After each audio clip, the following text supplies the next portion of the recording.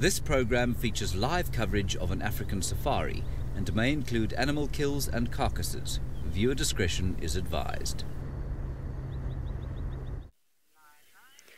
Hello, everybody, and jumbo, everyone, and welcome to Safari all the way in Kenya, and we are in the Mara Triangle. And as always, my name is David, and on camera today is Archie. Hi, Archie.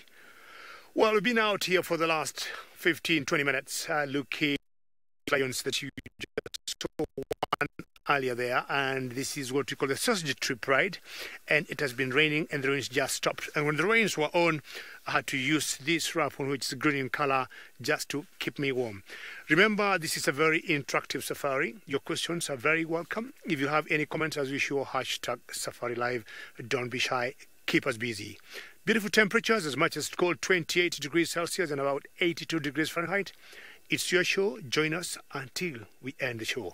Welcome again. And we got a Pride of Lions here that we call the Sausage Tree Pride of Lions. And the one that you see in front of us, we have given it a particular name and we call it the Kink Tail Lioness. She's laying down there and way in front, way in front, sorry about that. That's the kink tail there, sorry, that's the kink tail. And if you see her flicking her tail, you'll see that that tail is a bit kinky. And she is with a sister that we just saw earlier. There are always four females, and you have some males that hang around, and the main male that will be around this territory uh, is called Kipuli. But what you see there, that's the kink tail lioness. Hello there. So with all the showers going on, the temperatures have cooled off. It feels very good for me. And not any wildebeest close by. But we are just hoping at one point, should they feel hungry, this is huge space, and the migration is still on in the Mara Triangle, and possibly something might happen later. But remember, I am not alone here, uh, not here in Kenya, I'm the only one, but down south in South Africa, in Djuma, there's another gentleman that would like to say hello to all of you.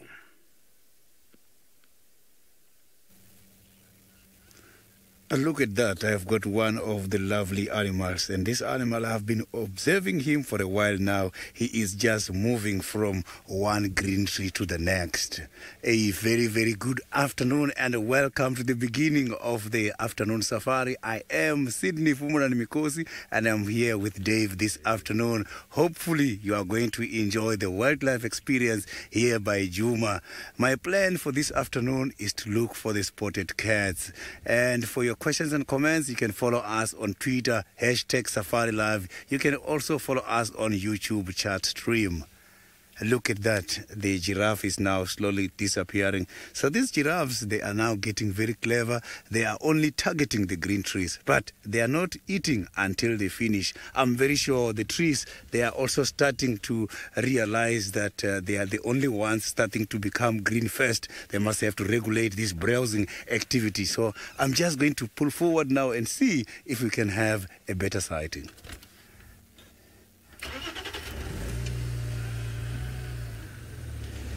So the rain has stopped a little bit this afternoon, but the weather is still promising that we might have some rain before we finish with this game drive today. So this giraffe is walking very fast. He has just been here now. So now let's go to one of my colleagues, James, is just about to take off now. Let's hear what James is up to this afternoon.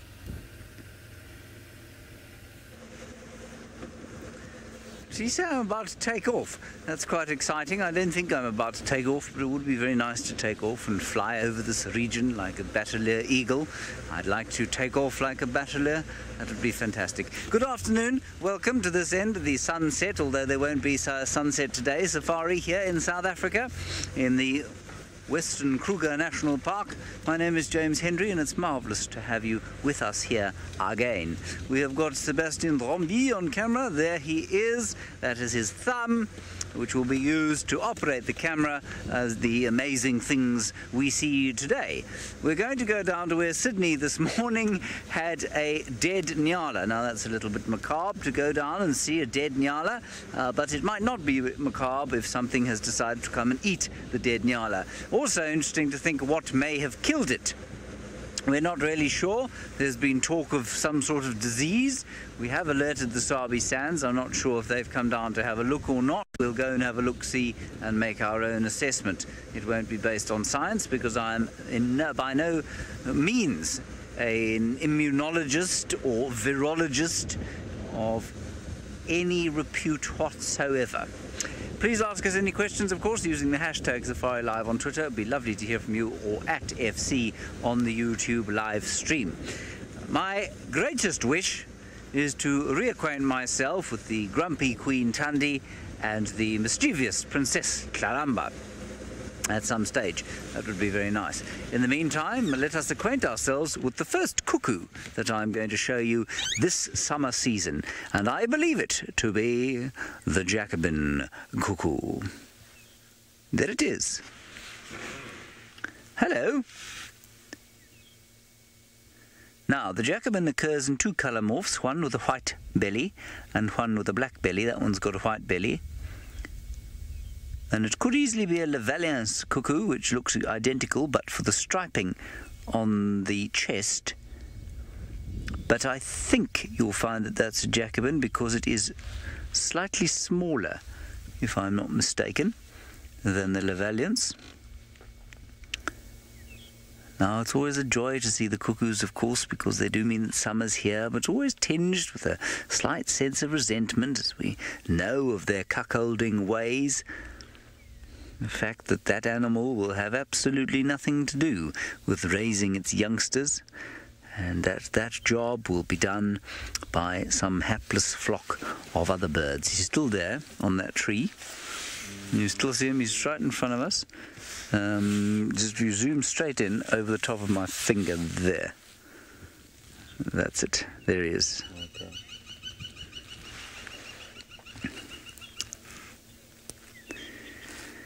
Magic Dragon Wizard, I suppose you thought you were going to trick me with this question, didn't you? You said I can. You can. Uh, you said that I said that you could ask any question you wanted to ask, and your question is, why is water wet? Well, I'll tell you why water is wet if you like.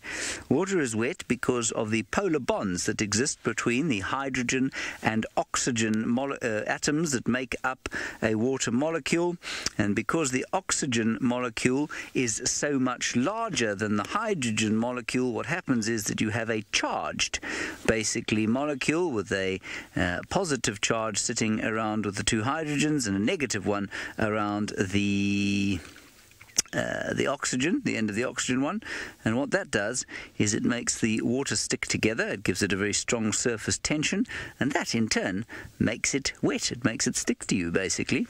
That is why water is wet. Take that, Magic Dragon Wizard. you probably knew that anyway. Right. Uh, so, what I was going to say about this bird is that it is most lar- mostly a parasite of bulbuls. Now, we don't get a lot of bulbuls here. They are around, but we don't get them quite as much as we do.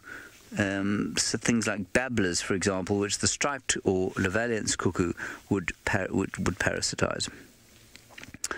Yes, so dark-eyed bulbul, speckled bird, fork-tailed drongo, they will also parasitize. Uh, African fly, southern tchagra, southern boubou, bok macquarie, fiscal flycatcher, terrestrial brownbul, Cape white-eyed chestnut, vented tit babbler, Cape wagtail, and golden-breasted bunting, many of which we do get here. And that beastly bird over there, uh, joyful as it is as a harbinger of the coming warmth and rain, it is, as I say, tinged with a sense of resentment that I look at such a bird which will have nothing to do with raising its own babies. Yes, Gary, maybe not so much more active, but they will certainly become more vocal. Uh, as we head towards the breeding season, tremendously exciting time of the year as the greenery comes and the insects start to emerge, so there's more to eat, and the birds prepare for breeding. The weavers will start weaving, the cuckoos will start calling. The and all the rest of the birds will set up their little territories and try and attract mates. And the whole process of making new birds uh, will begin. And that, of course, starts with a lot more singing. So although they're not more active in, from a foraging point of view, because if they still have to forage in the winter, uh, they will certainly seem to be more active because they will be a lot more vocal. And of course, there will be a lot more for them to eat with all the insects about, and the odd fruit, and that sort of thing. Alrighty, we're going to go back across to David Gatambagitu up in the Masai Mara. He is the only person in the world, of course, who can say the words Masai Mara in his unique and wonderful way. Well, James talking about nyalas. Nyalas are antelopes that we do not have here in East Africa. I think you get to see nyalas maybe from Tanzania, which is a country south of Kenya, moving further down, Zimbabwe, Mozambique, maybe all the way to South Africa. But we do not have any nyalas specifically so in Kenya. Now, these two lionesses have come together. They have been laying down like 10 meters apart. But I'm sure we all know of all the social cuts, the lions are top on the list. They'll always groom each other. And this being two sisters could be the time now to come close and speak of the devil. Just see how close our social lions can be. Hello, sister. I've always wondered when they groom each other like that, do they talk? Do they pass any message? But I would not know, but definitely I think there's a lot of, uh, you know, feeling language that goes on between them. So the one laying down there is what we call the kink tail. She seems to be a bit sleepy, enjoying snooze, which is very characteristic of all lions or most cats. So many lion prides in the Mara Triangle, but to me, this is the most successful one, and I've always noticed they're always very good looking physically. And anytime they go for hunts, you notice lions are not very successful hunters. But this particular pride, when you look at uh, lions maybe being only 30 40% successful on when they make the hunt, I would give the sausage tree pride about 50% success. For those who have never joined us before, very good to hear. Uh, very warm welcome. And to all of you, I would say thank you so very much. And uh, I say Asante Sana. I'm sure you all know Asante Sana translates to thank you very much for welcoming me back. I feel very warm to be welcomed by all of you. And I was talking earlier of how, oh, for those of us who have never joined us before, this particular Pride of Lions, we call it the Sausage Tree Pride for fast viewers, a very big welcome. And it's because we have noticed they tend to climb on trees. And most cats, especially lions, will come, climb on trees either to get, you know, to cool themselves up because it's much cooler with all the branch cover, or sometimes if there's a lot of flies on the ground, they also tend to go up on trees. And there's one particular tree that they choose to go up, which is the sausage tree, ah, as they're stretching and walking there. And because they love going up the sausage trees, that's why we ended up giving them the name the sausage tree pride. So, talking earlier of their success when they go hunting. So, this particular pride is very successful. It consists of four females and one of the females have two small little cubs. I would say two to three months now. And I'm just hoping at one point I'm gonna spot it. So that is the kink tail. If you look at her tail carefully, you see it has a little kink. And this one will always guarantee, especially mice, over 100%, because sometimes lions from a distance might confuse you which one is which one, but this one particular mark on the tail is very definite that belongs to the Sausage Pride. So the sister is heading out in a particular direction where I had seen some buffaloes earlier, and I doubt the two of them would dare to bring a buffalo down. The migration is still on, and chances are they would go for a wildebeest. And today I think is a lucky day for all of us. We've got my cats here but I think Sydney might be having a more interesting cut in South Africa.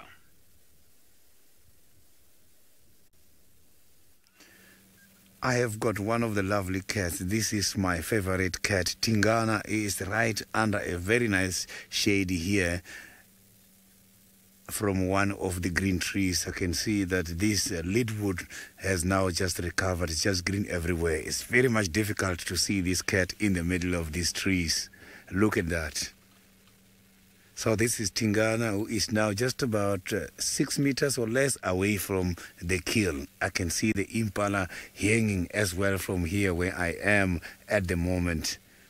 Look at that. That is what he is here for. He is here trying to finish his impala. It was a male impala. And my apologies for the uh, roof uh, as it is drizzling here in the area since this morning. So I've got my roof so that the equipments can be safe. So you will be uh, having problems with the poles during the sightings. My apologies in advance for that.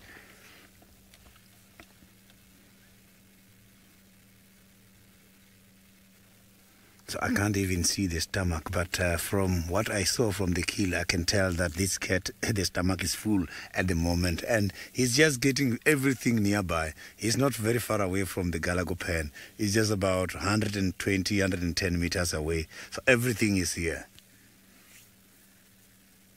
So I don't know the reason why this cat is hiding under this bush because it's not sunny at all. Maybe it's because of the rain. I can smell the impala. That meat smells very nice. So this cat had a very nice meal.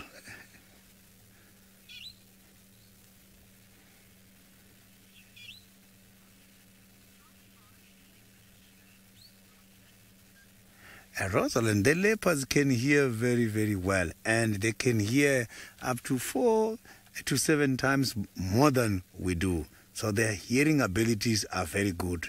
So that's why the male leopards, the territorial holders, when they are doing sowing, the other ones, the intruders, and the other ones coming to challenge for their territories can hear them from very far. So, in terms of kilometers, I'm not too sure, but it can travel kilometers.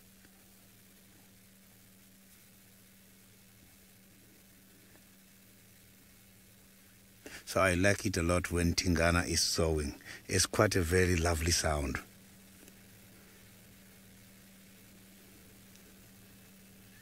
You can see this cat is so camouflaged. You can't even see where the head is uh, unless it's moving. You can see the blink of the eyes there.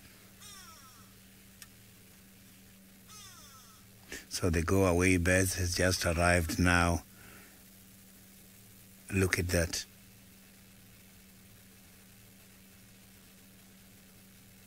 So this animal has got a very good eyesight. You can see that pupil is nice and clear.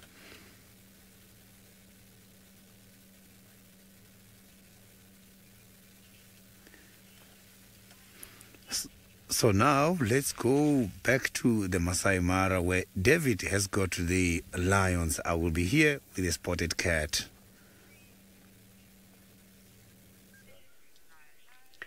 Well, Tingana remains one of my favorite uh, leopards to have seen in South Africa, and truly I think he remains the Duke of Djuma. But now, the lioness here has moved like what 20, 30 meters towards the one that moved earlier, and they're now like five meters apart, or six meters, yeah, five, six meters apart, looking in the direction I was talking about, where I had seen some buffaloes before, but chances are I highly doubt two of them would even dare to go for a buffalo, even a youngster. After all the spitting or small little drizzles we had earlier, what will happen? I'm sure they are all wet and they might try to dry themselves a little bit or maybe just curl themselves and just keep the warmth, not to lose so much body heat because all the showers that were raining, they did not move to try to get some shade or some shelter rather. So this one's eh, quite, quite sleepy. Been trying to think what direction I would go and get the other female that forms four of this pride that have the two cubs. But I think because of the rains that just started the other day, which marks the beginning of the short rains in Kenya, she might have chosen an area where it rains Either she'll stay in some cave or under some rocks or crevices where the cubs will not be rained on. Apart from you know having big mortalities of you know lion cubs from I would say I, I would say hunger, it's more of weather.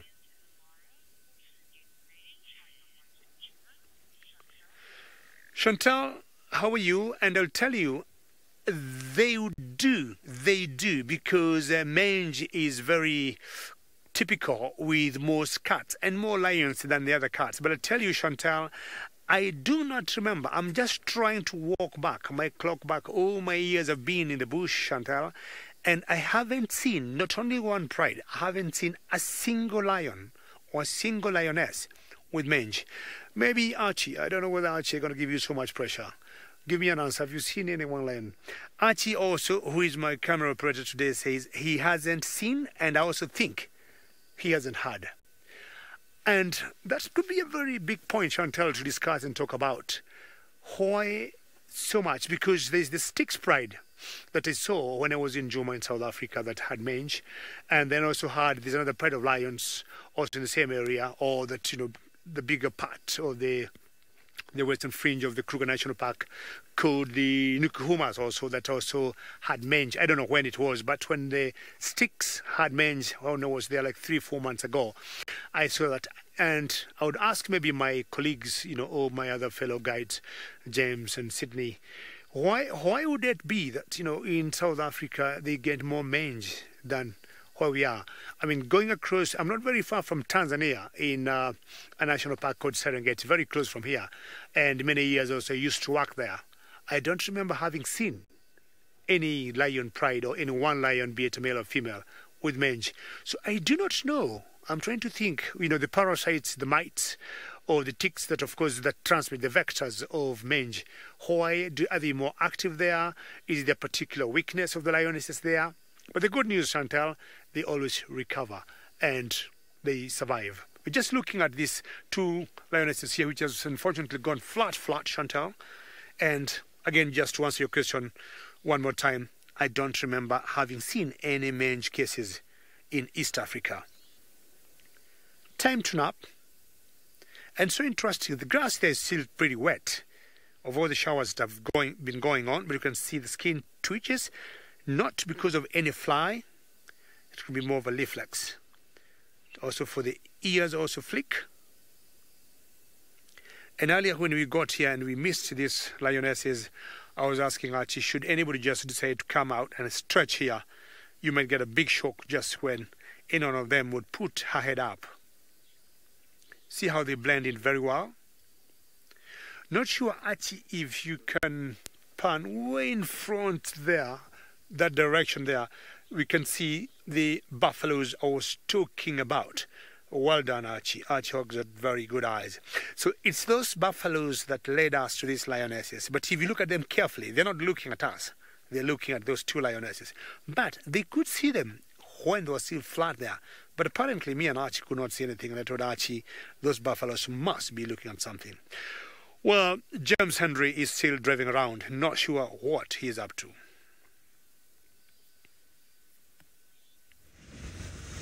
Well, what we're up to is we've come past that dead Nyala and it has miraculously disappeared.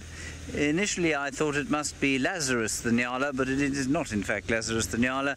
It was uplifted by the Sabi sand. We're going to go and take it away and test it for disease, possibly anthrax.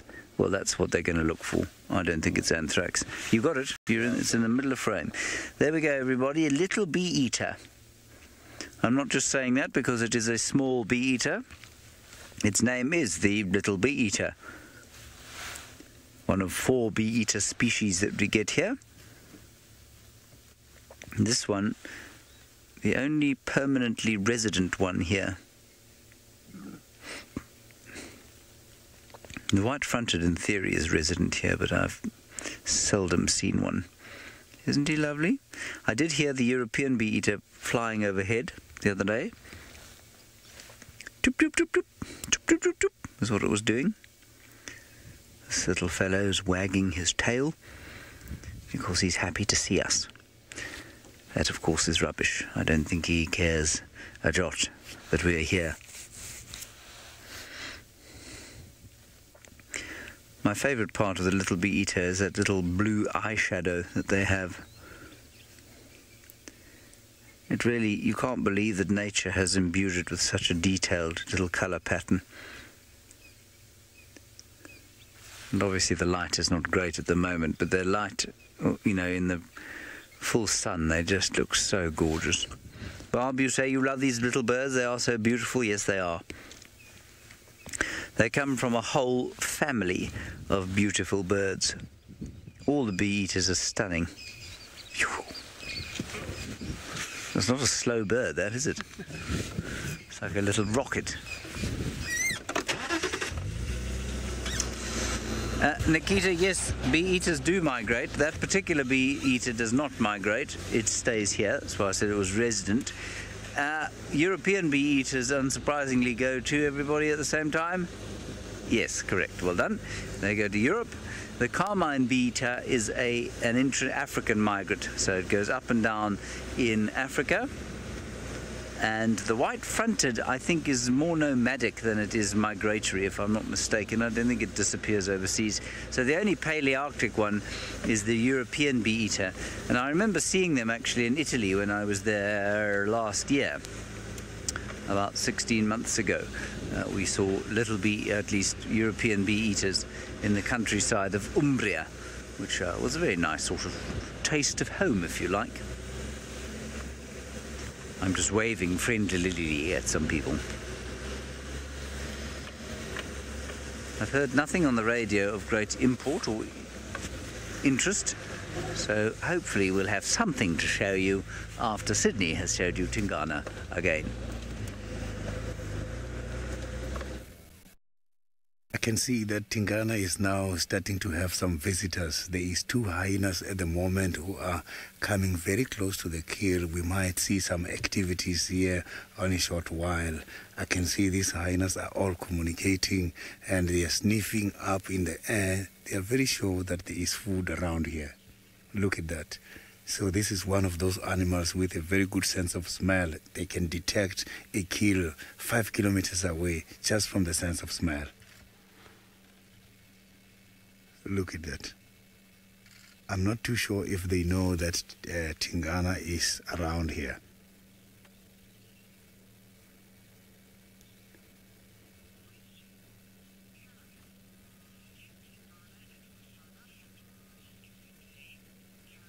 Uh, Karen, Tingana and Hosanna, they don't really uh, go after these animals every day. So the thing is, the cats, predators are just very opportunistic and uh, they have got an instinct behavior of just killing animals. Normally, they kill something and eat for a couple of days and they will hunt after four or five days. But if anything comes their way, you will see they will take it down, even when having a kill.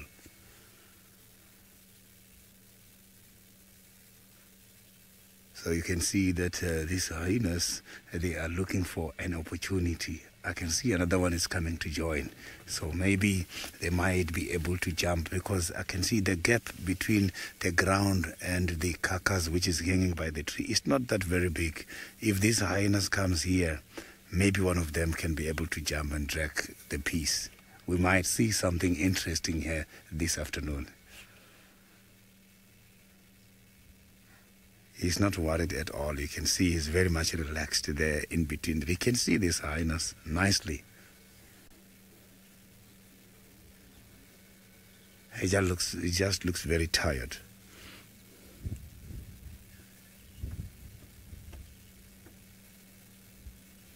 So you can see the spots now as a as part of the predatory strategies that these spots can be able to camouflage these animals because it looks exactly the same like this bush at the moment.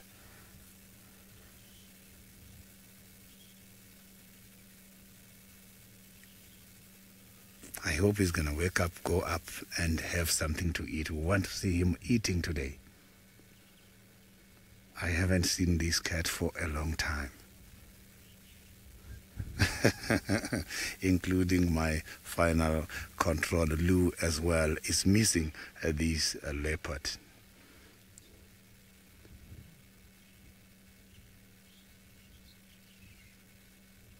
He is thinking too much, I can see now. He's moving the head and the eyes.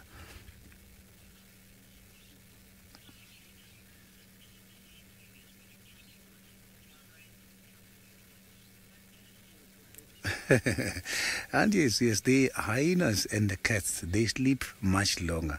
And when they wake up, they prefer to yawn. But yawning uh, serve different purposes. They also use yawning in order to cool the temperature up by the brain. So you must check every time the lions, when they're lying down, they keep, they keep yawning. When they're doing that, that is when they're cooling the temperature up by the brain. And it does help them a lot. So hyenas as well, because of sleeping a lot of hours, they must have to do that.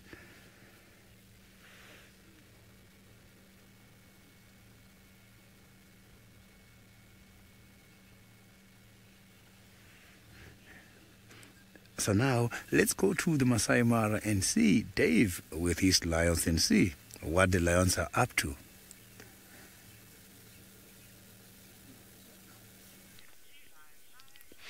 Well, it's very typical for most cats just to lay flat and uh, not do much.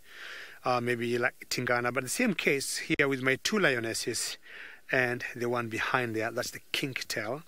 And I've always compared these two lionesses, and as much as this one has little kinky tail, she is more in charge, I think, of this pride.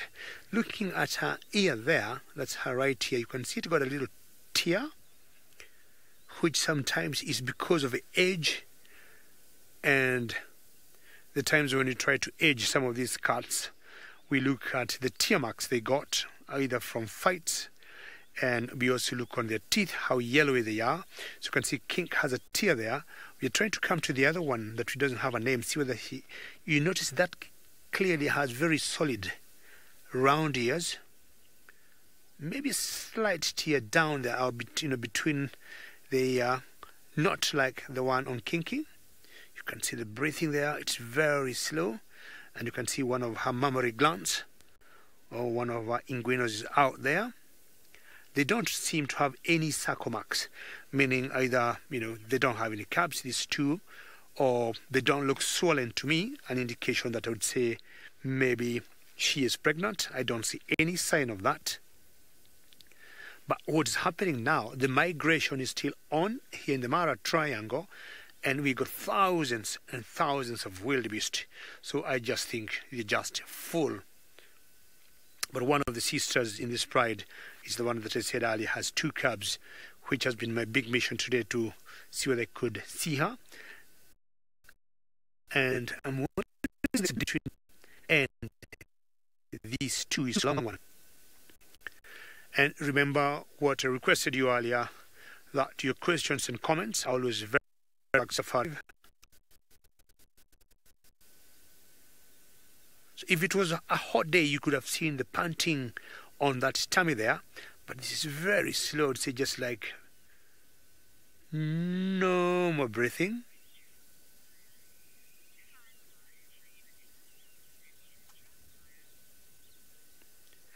Uh, sorry, Dan, do what have the same structure? Sorry, Lou?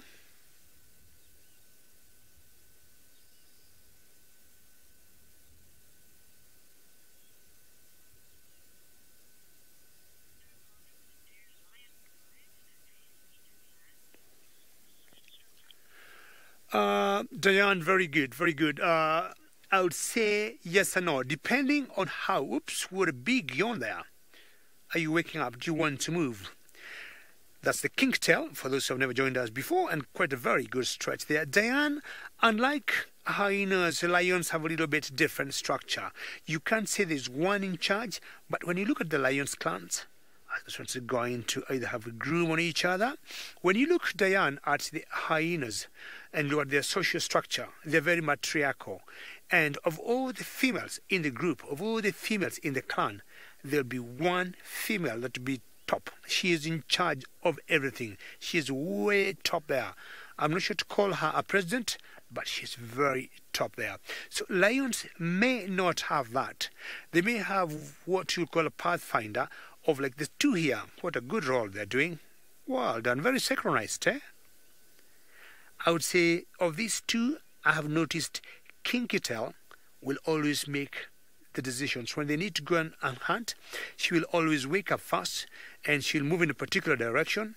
She will survey Diane and she'll be like, that is our target, that is our prey. But I wouldn't say they have a social structure exactly like in hyenas, where you see there's one female that is very conspicuously in charge, and you can always tell who she is.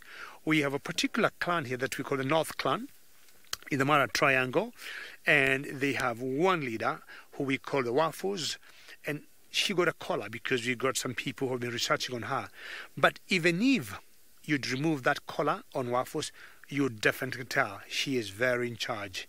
She controls the whole clan, and you know she pulls all the calls and she makes all the important decisions. Hello there. Time for play?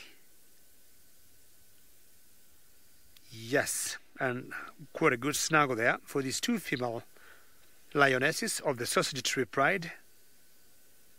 I'm sure because of the temperatures going down, what they may be trying to do apart from the social grooming is to raise the body temperatures because it has massively cooled off.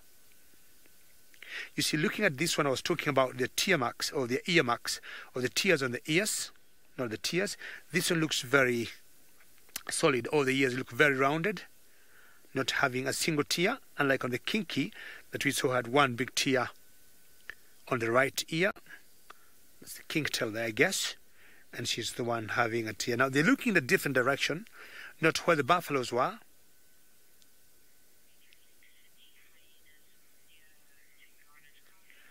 how playful, and I think Diane was asking about the social structures of lions and hyenas, and maybe Sydney might put more light on the same.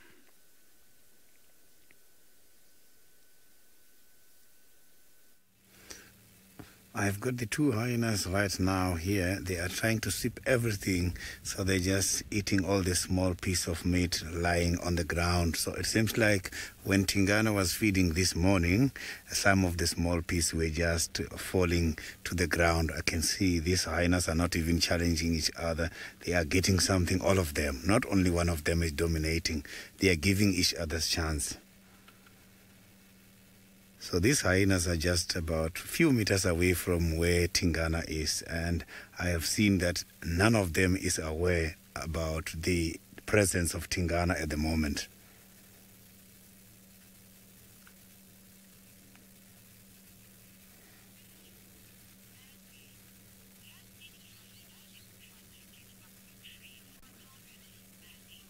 Andy, they do try. It's just that the hyenas are not well gifted. They are not agile climbers like the cats. The leopards are well equipped and they can easily climb up into a tree.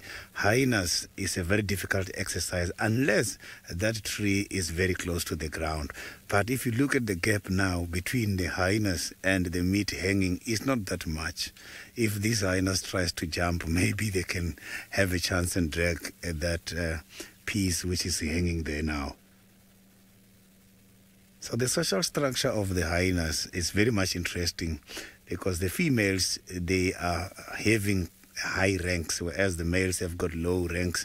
And these females if you look at them they have got quite a lot of uh, testosterone. So they develop quite a lot of male genes which helps them in order to protect the den against the intruders so it's unlike the elephants, whereby it is a matriarchal system, and you find the responsible female in charge of the herd when it comes to direction. Uh, for direction and orientation, she's responsible when to sleep and when to go to the water holes. But here has got quite a lot with dominance in order to protect the babies and the the clan.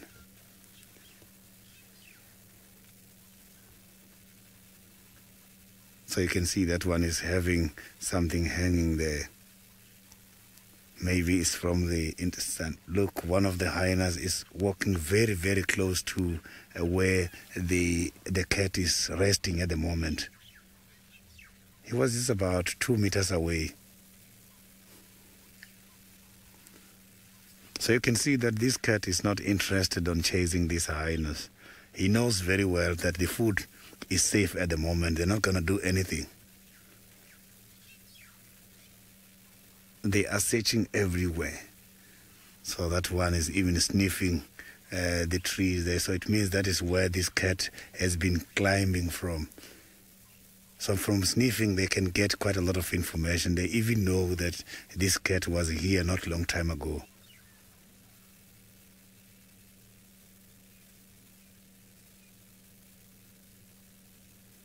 It's a pity these these animals cannot be able to climb this tree. So hyenas they also conduct their own hunting, but it's not very often. Here they are depending on the remains from the leopards and the lions. Also the wild dogs.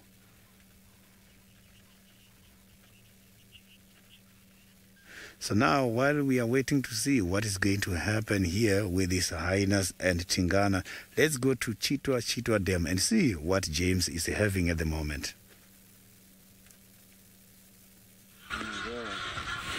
Well, what we have here is a great conflagration of Egyptian geese that are flying towards us at a tremendous rate, shouting the odds. No idea what they're going on about, why they're in such profusion here, and why they have now just all departed en masse.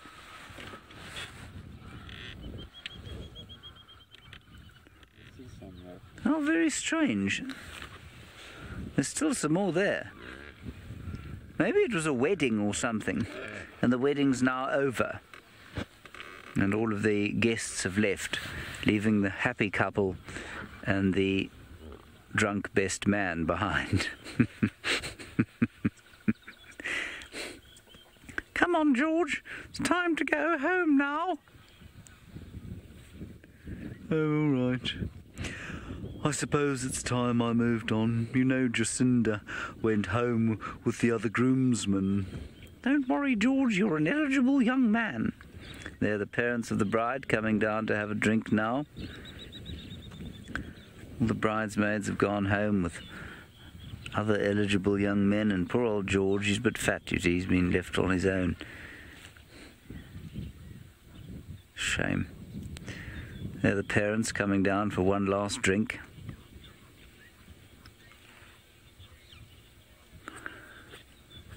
There we go. Oh dear, I think it was the most marvellous celebration. Yes, indeed, my love. Our daughter looked positively radiant. Oh, she did. She was just gorgeous. We did such a good job of raising her, didn't we? Oh, yes, we did, my love. Yes. Made the last comment on loving seeing Egyptian geese flying overhead. It was most impressive. Jacqueline, yes, indeed. They are magnificent to watch. You see, poor George really is overstaying his welcome now. The happy couple is trying to go off towards the bridal suite. Roger, tell him to go away. I can't tell him to go away. He's my best friend. But Roger, this is our night. You guys going to have another drink now? Roger, no. Him. I could have another drink. Poor old George. Sad state of affairs for him. Very happy. Well, maybe that's his problem, Louise. Maybe he got his face in the in the wedding cake. Louise says he's got a very white face. I have to agree, he does have quite a white face. He probably head-butted the cake by mistake, which is maybe why the bride isn't too partial to him. Look at him, he really doesn't know how to leave them be, does he? He's, he's a big fellow.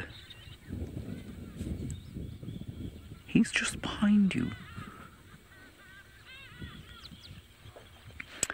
Almost certainly not, Louise. He didn't used to date the bride, but he's always wanted to date the bride.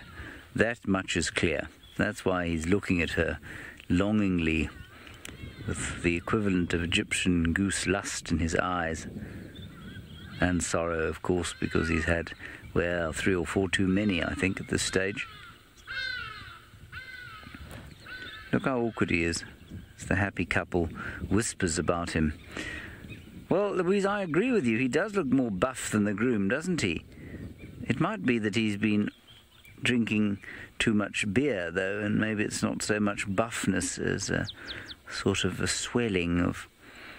Where it shouldn't be swelling, if you know what I mean. Uh, where some Egyptian geese have a six pack, he's got a keg. Or a cooler box, yes, exactly, with a six pack in it.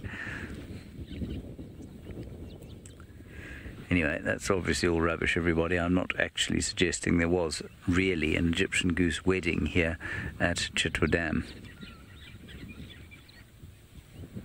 Although it's a nice thought, I think. It is a very good, good venue for a wedding. Yes, well done, Louise. It is indeed. There are lots of hippopotami here. I haven't been here for a very long time. I feel like I haven't been here for months and months, and that's because during our Gauntlet TV series, I was searching for the leopards all the time on Djuma, Hosana, Thandi, Kalamba, and Tingana, and I didn't come down here at all. That particular hippopotamus has got a rather hippopotamus has got a severe outbreak of skin biting or scratchings. I wonder what's happened there. Doesn't look like it's been inflicted by a another hippo does look quite nasty. Well, maybe it was inflicted by another hippo. Clearly, not flavour of the month, that hippopotamus.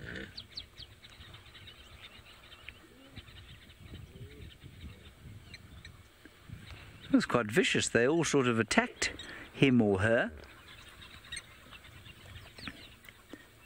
Maybe a young bull. There's a dolphin there.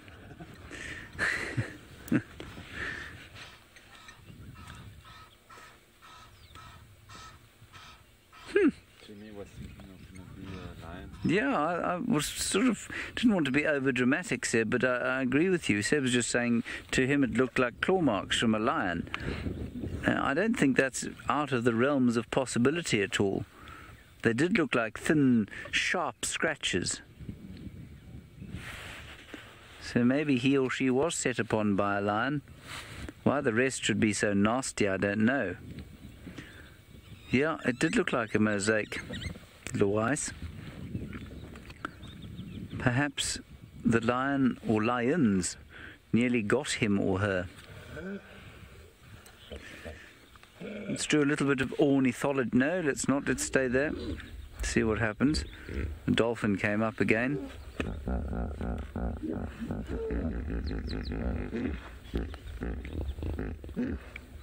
To many people, that is the sound of the African wilderness to them when they go on holiday to the bush. That's what they like to fall asleep to at night, and it is a lovely sound.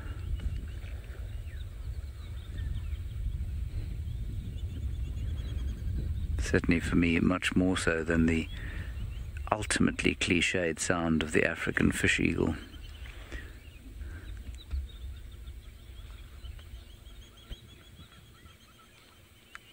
Very nice. Then there was, and now it's, no, there it is. Sebastian, I'm sorry to trouble you. Yeah. But there is a pied wagtail down there, which is quite nice to see.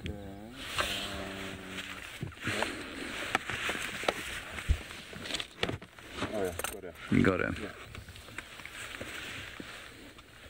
Oh no. no, No, you're in the right place. Uh, back a bit from there. Yeah, I was close. You are. Yeah. Lift a bit. Yeah, that's him. There's the pied wagtail.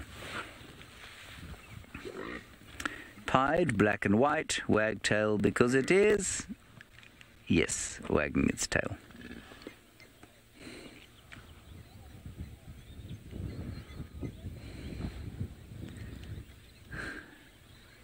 I think they look like such happy birds. Well, running this bird is, but fly it can. Running the bird is that David Katamba Gitu has, but fly it cannot.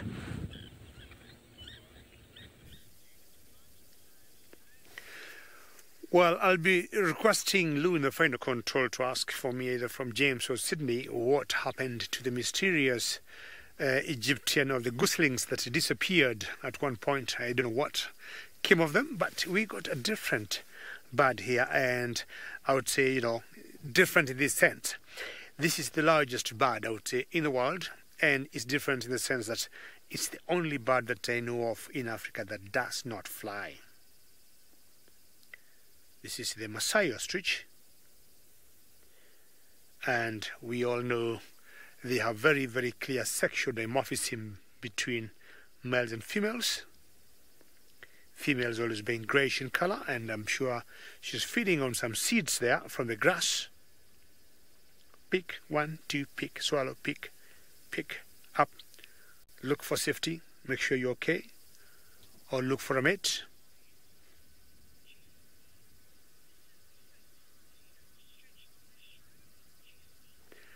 Is a great comment. First time you have seen an ostrich on the show, and I'm very happy for you. Enjoy it. Enjoy seeing it, Jessene. And it's pretty special to see an ostrich because, uh, again, it's a very unique bird. Look at the size of that massive bird. And if it's going to put one of its wings up, especially the left one, you can see the huge drumstick they got. And I'm sure you might have heard of the proverbial saying that ostriches will always bury their heads in the sand. And it comes from the, their massive size. You see, they're very large birds. And you imagine trying to put the small head in the sand there, and the whole body remains exposed out. I don't know what attention. She must have picked attention of something. The only concern, like where we are, either could be lions and not anybody else or any other animal. But either way, they don't want to take any chances. But again, as I said earlier, the migration is still very on in the Mara Triangle. Chances are the lions would not bother coming for ostriches. They have a lot to eat, wide selection of food, and the wildebeest are just doing them lots of good on their menu. Some of the largest, I mean, the heaviest birds. So when you see males, if you might be lucky to see one, they're black and white.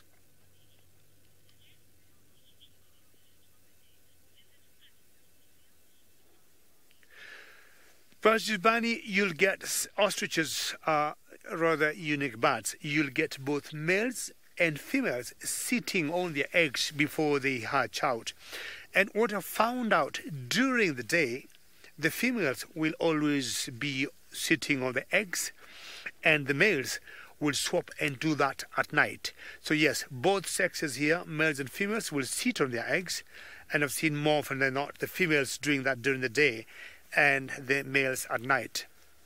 And maybe the argument or the reasoning behind that would be the females will tend to blend in very well with the ground and, you know, the brown color they got, and the males may be blending better at night.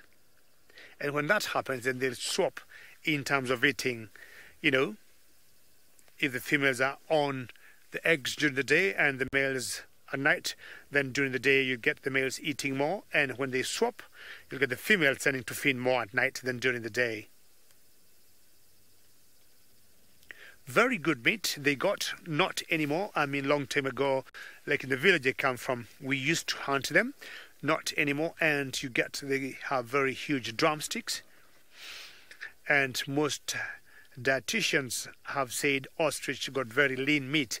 We still got so many farms of ostriches all over the world, all over the world, including Kenya. And the dietitians will say they got very lean meat. And people who have very high cholesterol have been advised if they have to eat meat, they go to ostrich farms and buy themselves some pounds of ostrich meat. A friend of mine was joking to me saying the females have less less cholesterol than the males. And yeah, Lou in the final control agrees with me that, you know, the ostriches got very nice meat. Personally, you know, anytime I end up in a restaurant where they've been allowed to serve ostrich meat, I'll always eat, you know, ostrich. And I tend to prefer ostrich meat to chicken. Not for any particular reason, but I think they're very lean and tasty. But when you look at both uh, in terms of colors, the ostrich meat is more red in color than the chicken very fast birds in speed, and the first defense, if they're in any concern, is to just flight, and they fly low very fast, just like the cheetahs. They could comfortably do 50, 60 miles an hour. But if they get cornered, they'll always turn around. I mean, before they turn around, they kick very hard. Ostrich, ostriches. I am not sure I have heard of leopards going for ostriches. Lions do? Sydney, do os do leopards go for ostriches?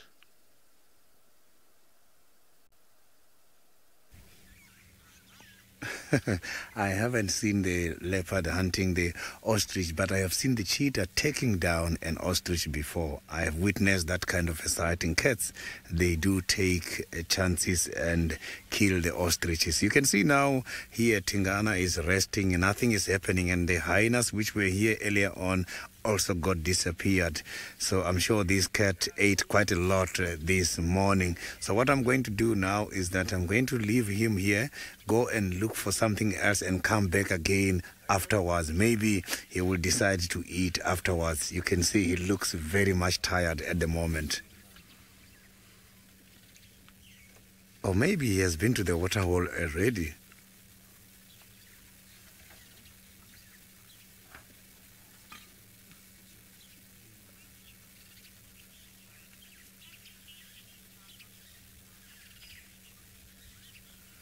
Nikita, Hosanna is what I'm going to be looking for now.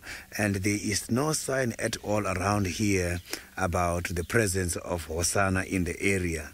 So it's also very difficult for me to do trekking today because the, the rain is killing all the tracks. So it's very much difficult. But I'm going to go up towards Treehouse Dam where Hosanna was last seen drinking and see if we can find something. We might be lucky around there.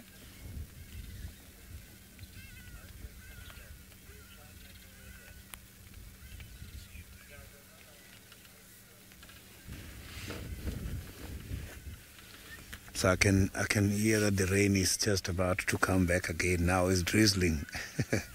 Maybe also Tingana might go back to the tree bushes there and hide for a while. So now let's go back to James. James has got some bed nest at the moment. There's a bird in that nest, everybody, and I'm just warning you that we are being troubled by a bit of rain at the moment, so I'm not sure how long we're going to remain uncovered. We came out without our roof on because it was looking a bit brighter. Uh, but there is a bird there. You can see the tail behind the branch on the left hand side. So there's a mother bird of some sort sitting on some eggs there, which I think is very exciting. You can just see a little bit of white fluff there. I don't think that's a baby bird. It's probably just coming up from the mum. Isn't that cool? Yes. I mean, not the most spectacular sighting we've ever had, but it is interesting. I don't know what it is. I'm going to guess that it's a gymnogene or African harrier hawk. Let me just go a little bit around the corner. There you can see the tail of the bird sticking out. Can you see it there, Seb? Uh, down. I'm not sure I can. There we go. What do you think? Gymnogene? Let's go with gymnogene. Ooh, that's nasty. Terrifying. Have to put our covers on, I'm afraid.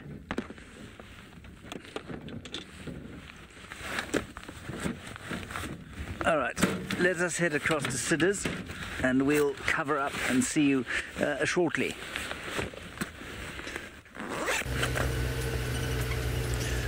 I am now heading towards the Galagopen area where I am hoping to begin with my trekking that side by the dam. But the rain is coming back now, which is not bad. Rain is what I'm looking for. The vegetation is very dry. It needs this rain.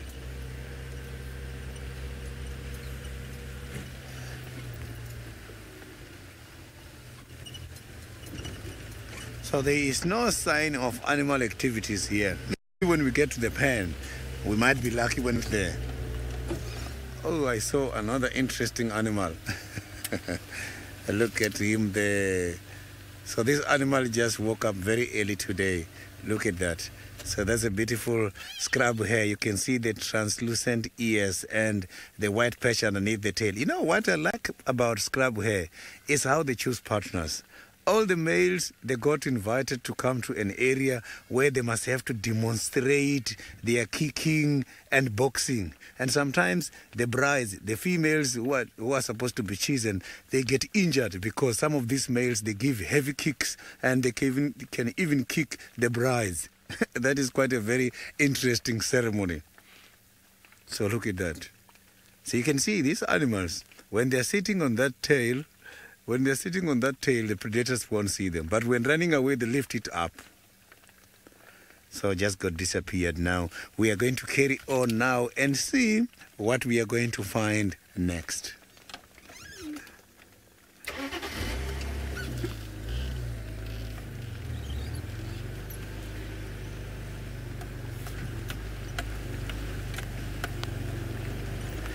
Uh, I did get your question very nicely. If um, Lou can repeat that question for me.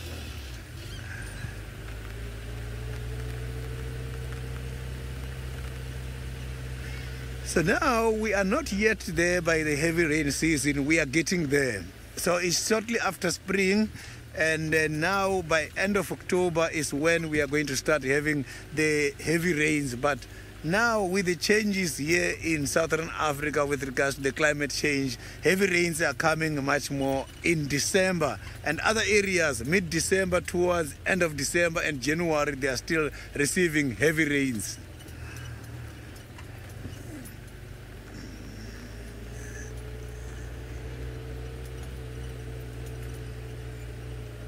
So it must have to rain hard so that the grass can be convinced and starts to bring back the nutrition for these animals.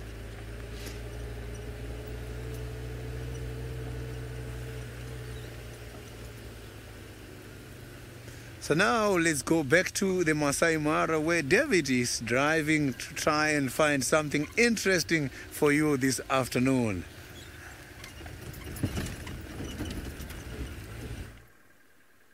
Well done, Sydney. Hopefully, you're going to also see or find Hosana. Hosana was my very first leopard to see. So, Hosana was my first leopard to see when I was in South Africa. Now, I might be coming very close to a herd of elephants, which I've not seen elephants since I came back. I've been away on off, maybe, as I said, or as you all welcomed me, I've been away for about two weeks and I'm always excited anytime I see elephants. And Archie, you let me know when I've given you a good angle. Archie is very particular on how I park the car, and sometimes he will always listen to me, David. I want the car in this particular angle. Can you level the car before I level my camera? And it's always good to see Elise any day I see elephants, I've always said, is a good day. Because of all the big animals, elephants are my favorite animals. I have so many reasons to love elephants. But the main reason, or the main one, is an elephant will always keep you engaged. Engaged in the sense that an elephant, unlike lions, which are always exciting, or leopards, see, the moment cats choose to be flat, that's it but I don't remember a flat elephant in my life. Eating, drinking, moving, playing, you know, having a social uh, bonding, name it. This could be a young female then a youngster to the right. But very interesting, if you move to the right, I want to take you the way. It's huge tree, exactly. That tree, it's a very iconic tree of the Mara. And unlike the thorn tree, this fig tree, and look how beautiful that setting is. Archie, I want to thank you very much for your good camera work. Beautiful background in the sky. And beautiful, you know, great tree there. Archie's just laughing back there.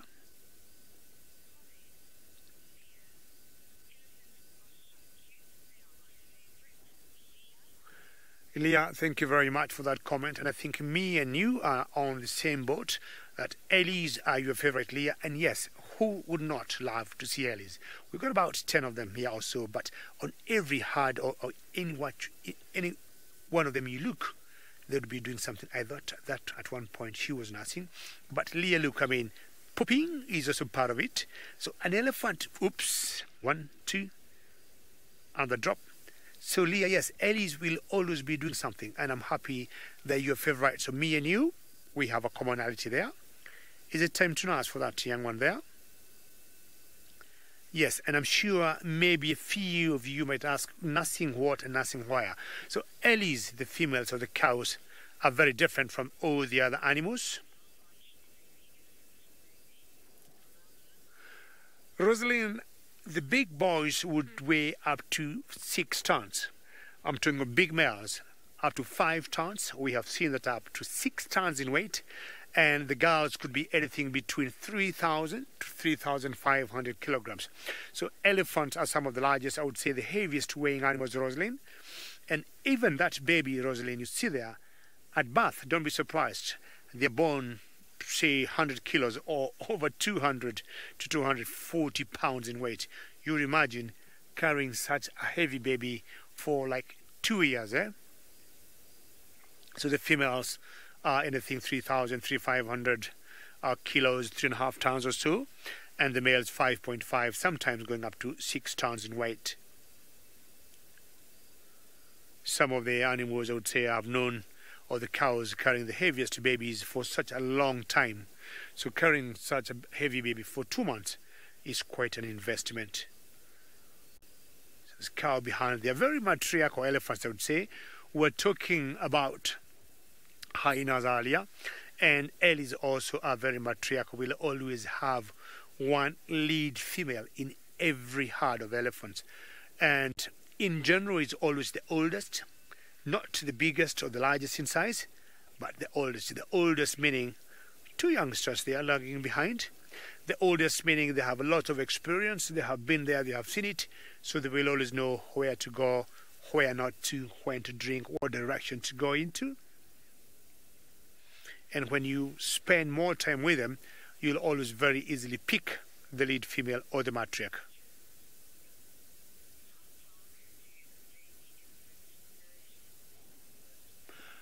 Well, I would say once the babies are born, before they get to, you know, getting pregnant, they wouldn't ask for anything a year to two. I'm trying to imagine a year to two before elephants, you know, conceive and get another baby. But I'm trying to guess it's about maybe one year to two years nursing. That would be an average time for the, I would say, the African elephant or the savanna elephant to nurse their young ones. And if you look carefully, they'll, they'll always try to keep their calves in the middle. Very clever animals. And that doesn't have any tusks as yet, meaning that she is definitely uh, less than two years in age. We have used elephant tusks just to edge them up or to have a rough idea how old they could be. Very majestic animals. I remember my lecturer in college was telling me if any of you ask you the difference between an African elephant and an Asian elephant, look on the ear. The African elephant, the shape of the ear looks like an African map. And the Asian elephant, the ear, take the shape of an Asian map. Thank you, Archie, for showing the viewers that. And it is true when you look at that carefully. I mean, the other important differences between the African elephant and the Asian elephant, but that was just on the side. But if you look at both males and females of our elephants here, they'll have tusks on them. But the Asian elephants, the females, do not have tusks. In general, ours are much bigger in size, and I would still say they're very natural, or they're as, wild as they've been from day one. And looking at the Asiatic elephants, you'll see or notice they've been used or they use them to do some suckers, or they use them in farms uh, to do a bit of uh, work in the farm. But here, none of them is used for anything. And and I, Roshni, I agree with you 100%. I mean, uh, I have not been out with Archie for quite some time, but we make a very good gel. And some of the stuff Roshni will bring you, be it the lions, the elephants, nice tree there that we saw the fig tree, and the background of the sky, Roshni. Thank you very much. We tend to get along with Archie very well, and uh, when I was training as a guide before, Archie was my main guy, and he used to take me out and would teach me all the secrets of making sure the viewers get happy. Our elephants have moved on, and could be time for us also to move on and find out what could be ahead of us. Archie, are you happy to move on? Archie says, move on. Alrighty. So, not thinking of looking for my female lioness with the two cubs of the sausage pride tree because it's getting a bit dark now. But again, tomorrow I'll be out in the same area and uh, we'll be finding out if we'll be lucky to see it. Definitely believing she is not very far from the other two that we saw earlier, and lions tend to be very social. She'll be sitting very close, close. Well, we had some rains earlier here, but I think Sydney might be getting a taste of the same.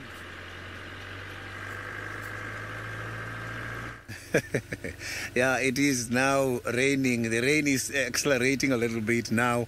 I can feel that the, now is better than this morning. So this vegetation is going to get very excited. Oh, it's already excited, I'm sure.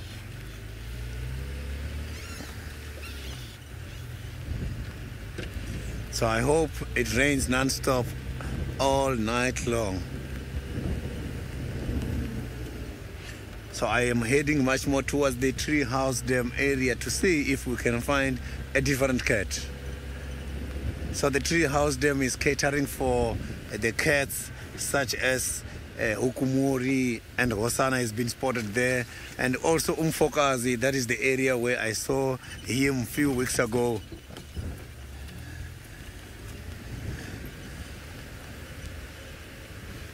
So I'm hoping to be lucky with one of those cats.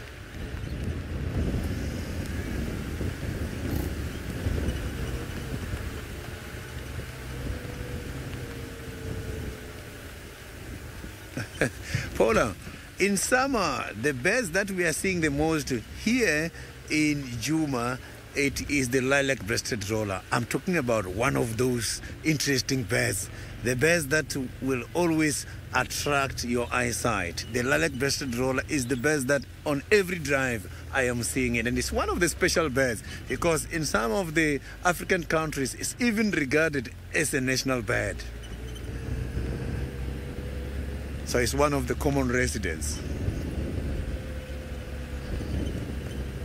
So some of these birds, they go away from Africa. There's different types of migration. There's something called Palearctic migration, where these birds live all the way to Europe.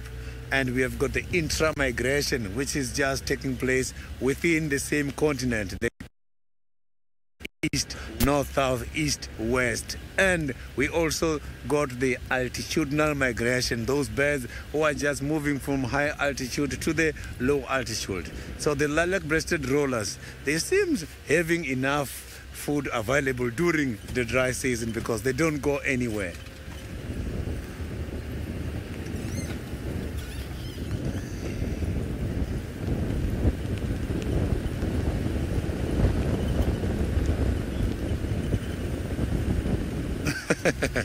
you see now, David, my colleague in Mara, just confirmed that the lilac-breasted roller is the national bird of Kenya.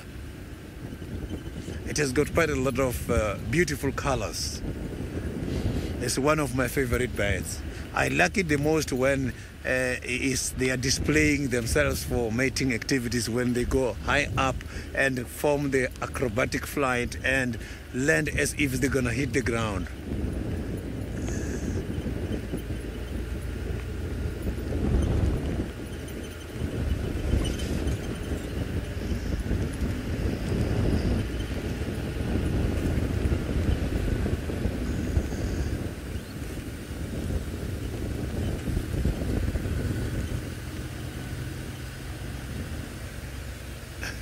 Linda, Uh, here by my vehicle, you can see this vehicle has got some uh, rain covers on. So that's why earlier on I had to apologize uh, for the poles. So here, the equipment and the guys and the camera operators, we are very safe at the moment. So we are not worried about this rain at all.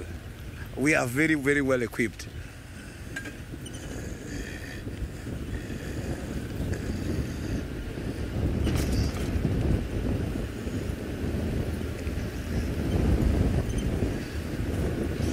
So I can see that this rain is uh, fascinating all the different species because the animals that feed on grass, I cannot see them at all. And the, the browsers, I only saw one giraffe when I started. So all these animals are excited about this kind of weather.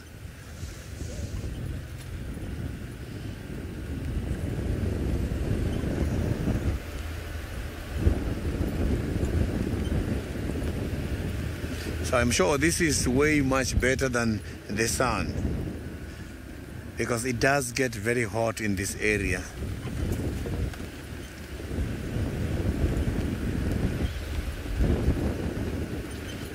So when the the rain is like this, this is going to also activate quite a lot of insects.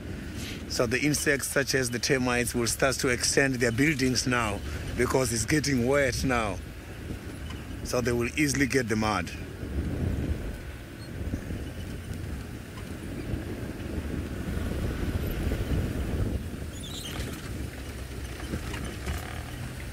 So now let's go to uh, Dave in the Maasai Mara and see what David is having at the moment.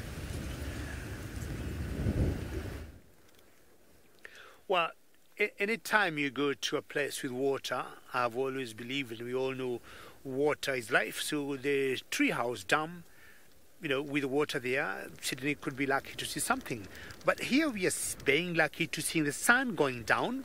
But we have all the signs of a very huge storm coming either later tonight. It's very windy at the moment, but that's beautiful sky.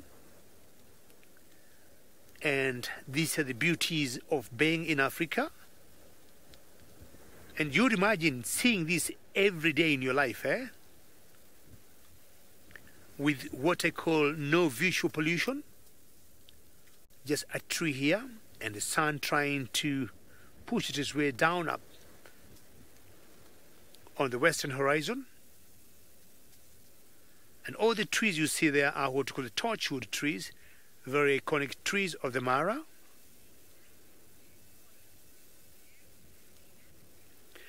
Sinak, Jumbo, Jumbo, and yes, that is an amazing view. I agree with you 100%. And I've never wanted to close a drive without looking at the sunset, unless, of course, we have very heavy storms or rain, or the sunset doesn't look very colorful. But yes, Sinak, what a way to, like, you know, not end the day as yet, that's massive. I mean, that's just amazing with all the beautiful colors that you see there.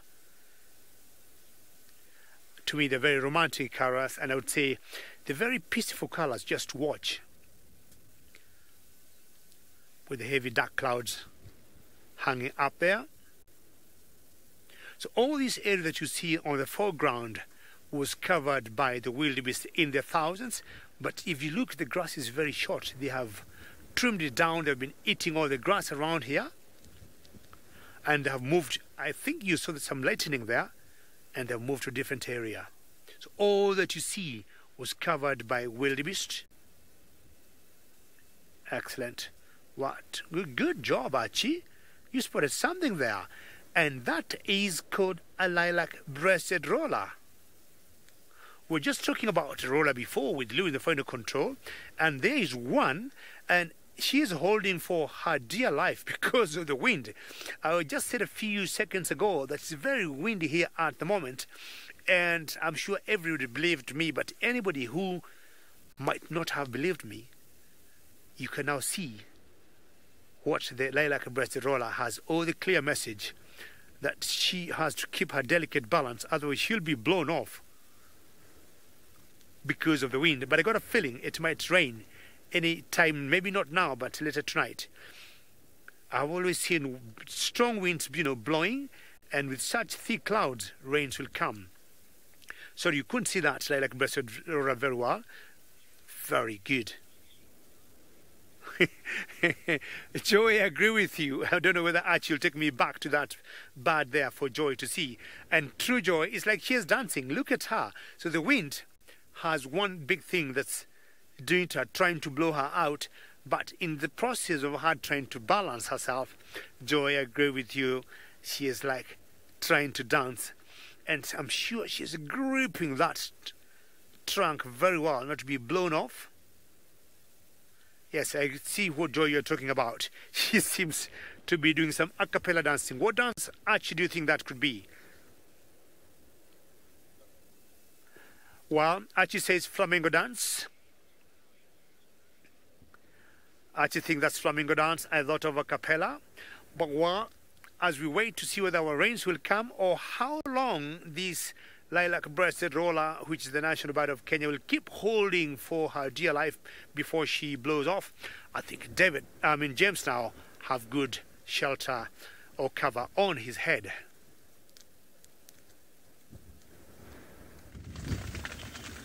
I do have shelter and cover on my head. We have quite an interesting situation playing out here with a smaller but obviously more aggressive crowned lapwing having a go at two bigger but more peaceable blacksmith lapwings. They've decided to call it quits for now. Of course, every time I see a blacksmith lapwing now, I cannot but feel a slight twinge of sadness at the loss of Scoobert, my first drive back. For those of you who don't know, Scoobert was a young bird that we watched from egg all the way to over the age when he should have been fledging. So he was about to fledge, he was about to fly properly. And, you know, he had a 20% chance of making it. And suddenly, uh, you know, with, with probably less than 24 hours before he would fly, he was killed by something. You don't know what it was. May have been the cold snap, may have been an elephant that stomped on him. Anyway, I felt very sad afterwards. Anyway, that's what happens with the blacksmith lapwing. And all of you, of course, shared my sadness. Of course you did. You all watched him and enjoyed him as much as I did. So we've come back, we've put our roof on. The clouds are scudding overhead. You may just be able to hear the gentle pitter patter of rain. And it obviously does reduce the amount that we can show you, but that's okay. We'll still have good conversation. There's some red breasted swallows flying overhead as well. I think there are quite a few insects emerging out onto quarantine clearings. There were lots and lots of red breasted swallows. You might just be able to hear them. I'll shut up for a second.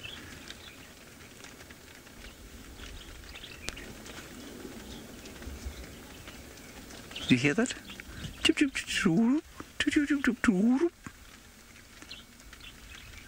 Those are the red breasted swallows flying overhead.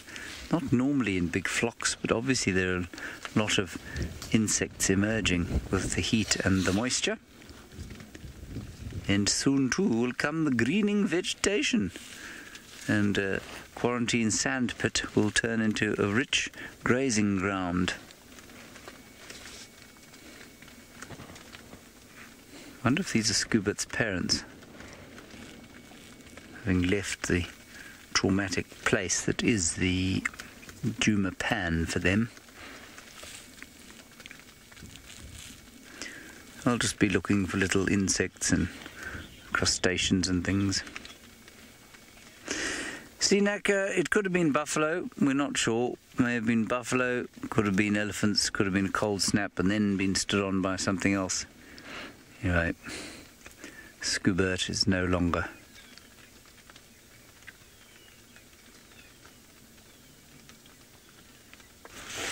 Righty, let's move on from here.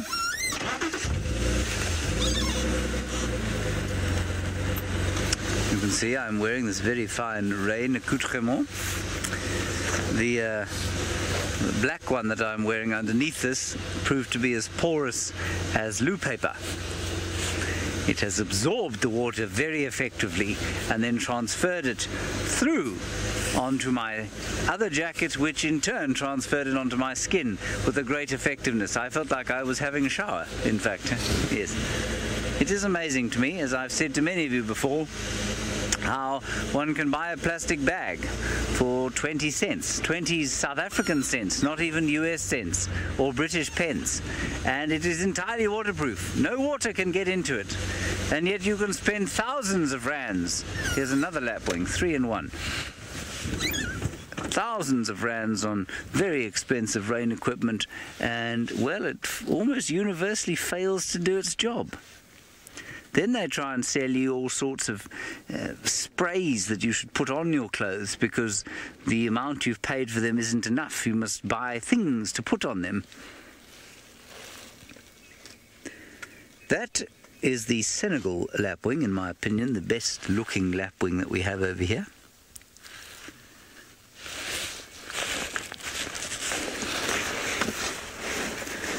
The Senegal lapwing and it goes.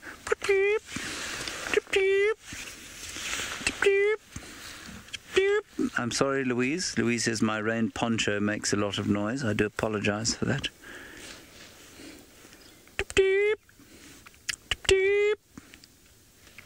See, it can hear me calling it.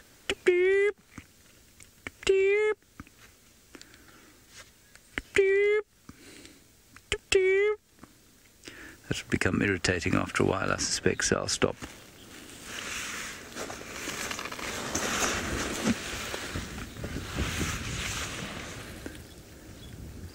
You probably also hear the howling of the wind.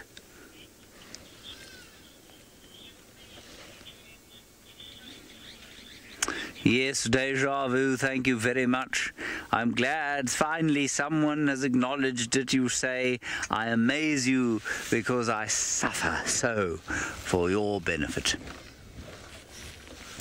I am a trooper, a stoic trooper. Thank you. Yes, exactly.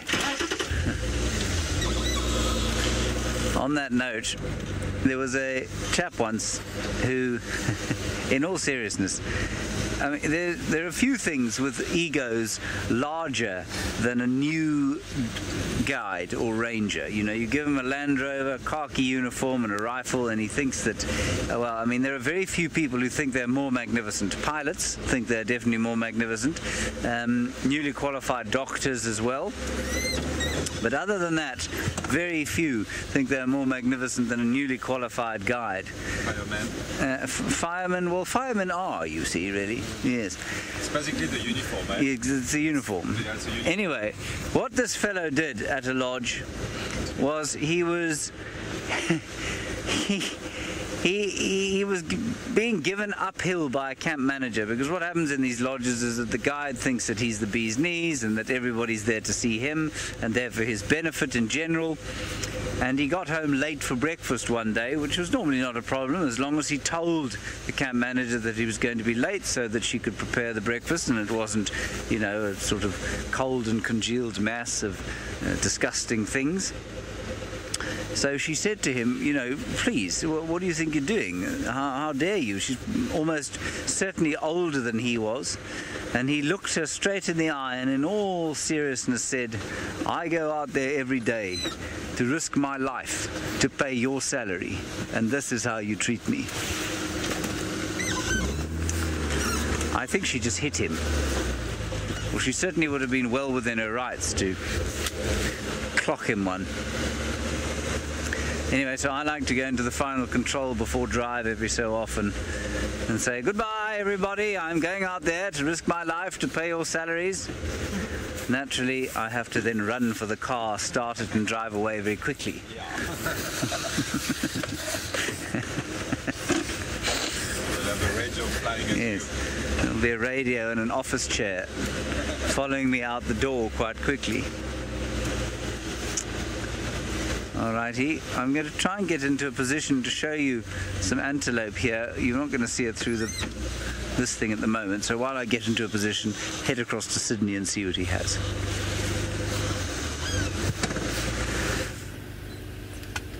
I am now going back to the. Uh, uh, I'm going back to Vuyatela Pen area to see what Tingana is doing. As here around the Tree House Dam, Twins Dam, there is no sign of Hosana. So I'm going back to Tingana at the moment. Maybe we'll find Tingana doing some activities that side.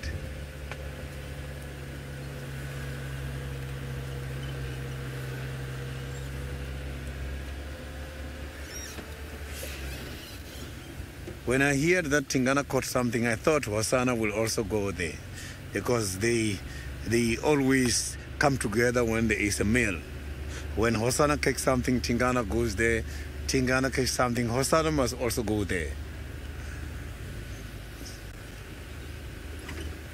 Or maybe he's got his own meal at the moment somewhere.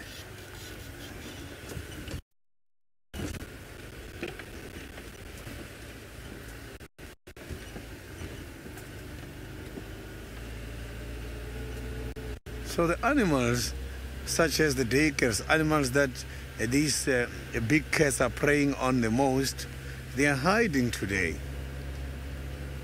And this weather is very much suitable. I thought we were going to see quite a lot of duikers, but duikers are hiding.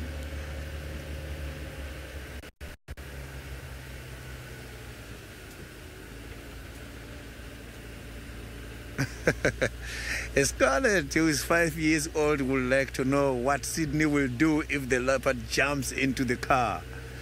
Uh, Scarlett, these kind of cats, when seeing me on this vehicle as well as my camera operator, they see us as one object. They cannot distinguish between us and the vehicle. So they see us as one object. When the cats are coming very close to the vehicles, I just have to sit still and they will see they will go past. They, will, they won't do anything.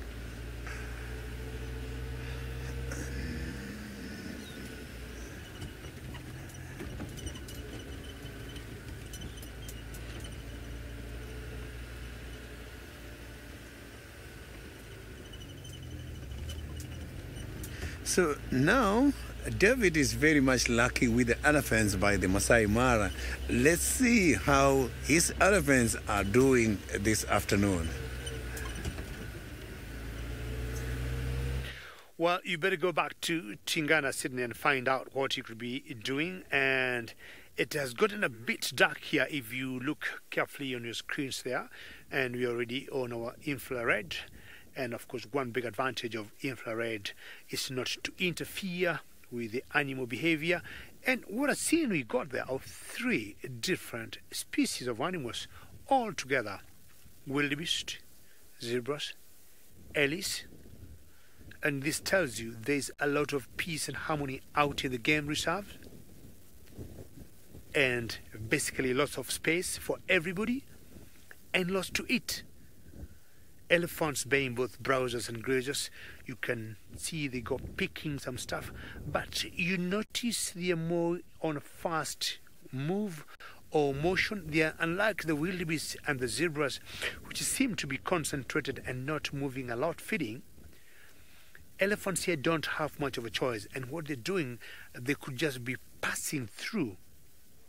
But with the rains that have come now, you notice the small little plants that we just shoot and that's what elephants will pick up. Not any grass here.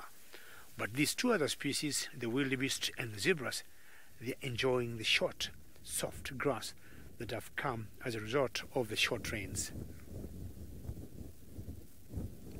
So just look carefully. The elephants move, pick and go, pick and go.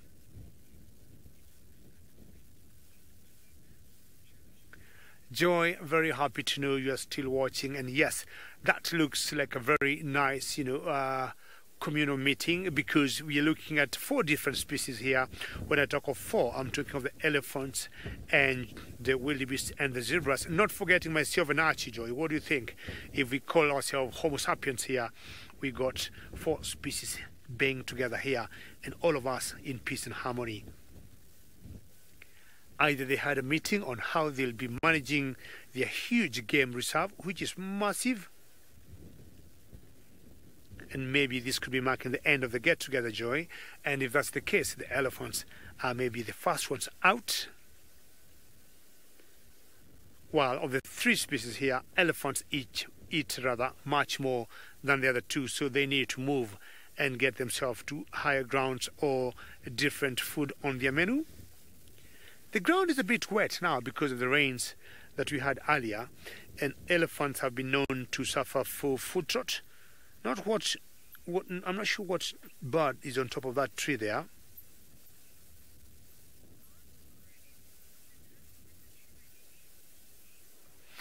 Hink, I would say no. I would think the Ellies in here in the Mara are much bigger than the ones in Djuma. That's me, and I would want also to hear the same uh, comment or feeling from uh, James and Sydney.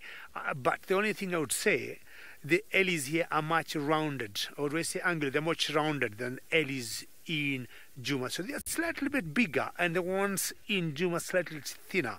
Not knowing a better way to explain that, but uh, well, I'm not sure whether I could ask that same question to Archie, but maybe Jum, I mean uh, James and Sydney can give me their feeling. But I would say more James who have been here. Sydney has not been in Kenya before, but James has been here many times. I think the Ellies here are much bigger and the ones in Djuma are much smaller. I did not make head or tail of that uh, bird on top of that tree there, but I would think it's some kind of eagle I would just guess it's kind of an eagle, definitely not a vulture. It's rather dark and it's quite a distance to get its outline very well with infrared, but it's kind of an, oh, is it a vulture? Not very clear, but I just guess it's an eagle. And I think it's time to look for birds in the darkness. Let's find out what bird James Hendry got.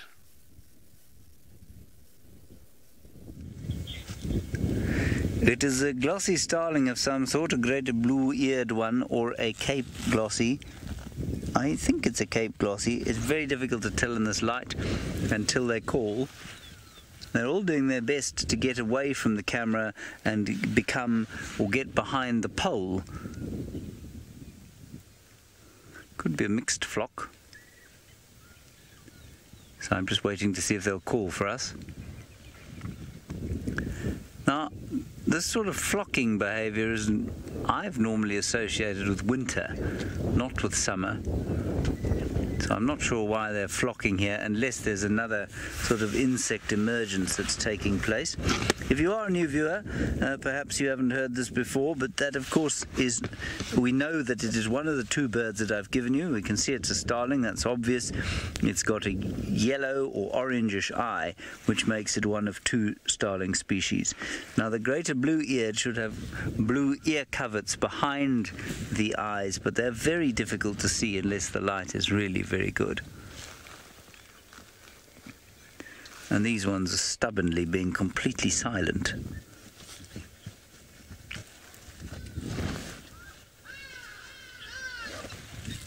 Hello, Byron. I'm assuming you're not Byron Serrao, erstwhile resident of uh, southern Johannesburg, and, uh, well, we could say so many things about Byron. I'm sure it's not you, though. Um, you say, you say, what rare birds do we get here? Well, it depends what you mean by rare. Do you mean rare for here or rare in general? I suppose rare or endangered would be all of the vultures. We discovered the other day that every single species of vulture we get here is now on the critically endangered list, so they're pretty rare. Something like a white-headed vulture, which has probably only been seen once or twice here, would be very rare. Uh, the saddle-billed storks are quite endangered. The um, What's the other one? Am I thinking of? Ground hornbills. They would be pretty rare. But you'll get some odd ones, Byron, that come through here during the summer. Um, you know, you'll have a sort of one sighting, they'll be here for a day and then they'll disappear. I'm thinking around this area, in fact, we had a broad-billed roller last year that hung around for a couple of weeks, so that was a really nice one. And we haven't seen him since at all. Trying to think of something other, something else similar. You might get something like a flock of lark-like buntings coming in for a little while while and then disappearing. And think of other specials. Brent said he saw a, um, a Eurasian hobby here. It's a falcon. Tristan had a golden pipit last year. That's right. That was quite exciting. So it always pays to stop at the water holes and stop at anything that you can't see or that you don't quite recognize and then have a look at it. And the. Kori bustard is quite rare the other day. Corn crake was seen last year as well. Most of the rarities come with the rain. And if you have a really good rainy year, an unusually wet year, you'll normally pick up some nice specials. We're just trying to pick anything up at this stage. Not doing a very good job. Ah, Sydney is not far from here and he has returned, I think very wisely, to the old Duke. I am right back here where Tingana is. I can see Tingana is under a very nice umbrella. Moved back again to that little thick bush there. You can see there is he hiding. Same position as previous. So it means he's using this uh, little bush for cover and for the rain.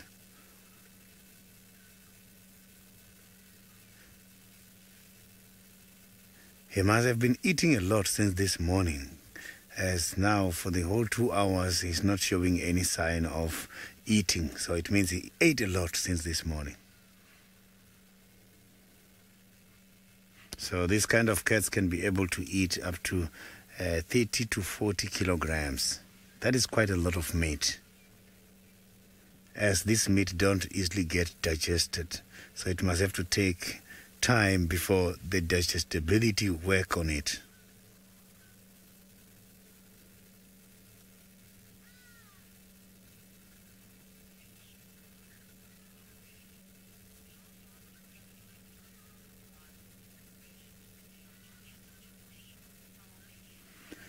So the leopards in the wild they can survive from uh, 13 to 15 years, but in a captivity it can be more than that. Because here in the wild they experience quite a lot of challenges. There's a lot of fightings, and some of them they easily get the tooth. When they start losing the tooth, is when it's going to be very difficult for them to eat, and some experience problems when it comes to the territorial challenges. So in captivities, these leopards, some of them they are much safer, but in the wild, life is difficult. It's survival of the fittest.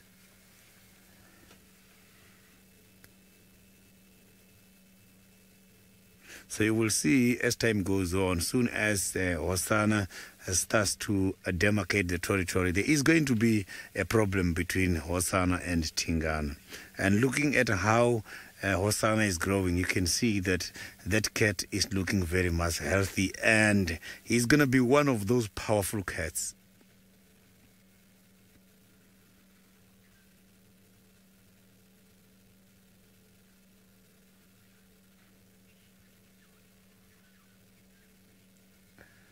So you can see now that uh, Tingana is very much relaxed. Maybe uh, Hosana has got an idea of inheriting the territory uh, when uh, Tingana is very, very old. That might also happen. But the problem is there's other males in the area as well who are on watch out. Males such as Ukumuri as well as, as Umfokazi. You know, the story between Tingana and uh, Umfokazi fascinated me a lot, whereby when Tingana got sick, Umfokazi came into the area. So you can see that these animals can be very, very much opportunistic and they're just waiting for something to happen in order to take over. Because when Tingana was sick, Umfokazi came back in order to take over. You can see that every day these animals, they are looking at each other, they are watching each other.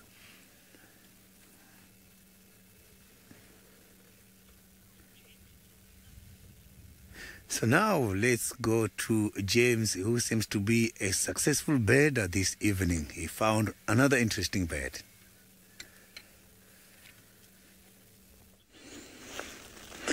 Well, interesting, yes, for so many reasons. This, of course, is Mrs. Wahlberg. She's looking a little bit disheveled, is our Mrs. Wahlberg. And for those of you who don't know, Mrs. Wahlberg arrived without Mr. Wahlberg this year, back from her migration. She arrived with a new beau. And Made me feel like she'd betrayed Mr. Wahlberg. He could easily have died, of course. She could have just moved on and upgraded to a younger model. Anyway, I haven't seen. In fact, I have seen him. I've just seen him. We couldn't actually provide you with a picture of him because of the rain roof, but he's not sitting far from here. I'm not sure that things are all as good as they might be in the Wahlberg household. They're often seen quite far from each other. Oh no. Oh. Oh, this is interesting. While I was on leave, apparently two pale morph Wahlbergs and one dark morph were at the same nest where Mr. and Mrs. Wahlberg, who are both pale morph Wahlbergs, live. So maybe he's come back and he's here to assert himself and his rights. Come on, Mr. Wahlberg. That's very interesting indeed, actually.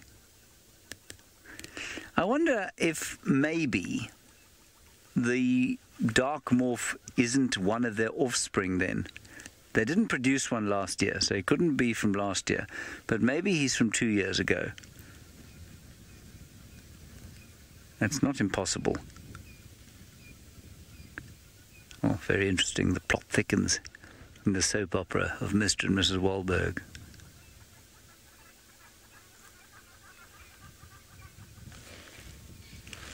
Shame. She looks a bit wet, doesn't she? Often people say, and I often think it myself actually, how do animals cope in the rain? You know, they get wet, they don't find shelter. Of course, the only reason that they don't think that that's not normal is that they've never had shelter. And so they just cope with it. They just get cold for a while and suffer through it. She's got oil on her skin, or not on her skin, on her feathers, which will repel the water, of course. So she's got almost a natural rainproof jacket, unlike my unnatural unrainproof jacket. And Tingana, for example, will lie under a bush or just eventually get wet and then shake himself out periodically and look miserable. There's nothing more miserable than a wet male lion. That's very funny. Yes, thank you, Louise. Louise makes a good point. She says that technically my skin is water repellent and water uh, waterproof. Well, she's absolutely right, of course. It's just it's cold, Louise, to get wet.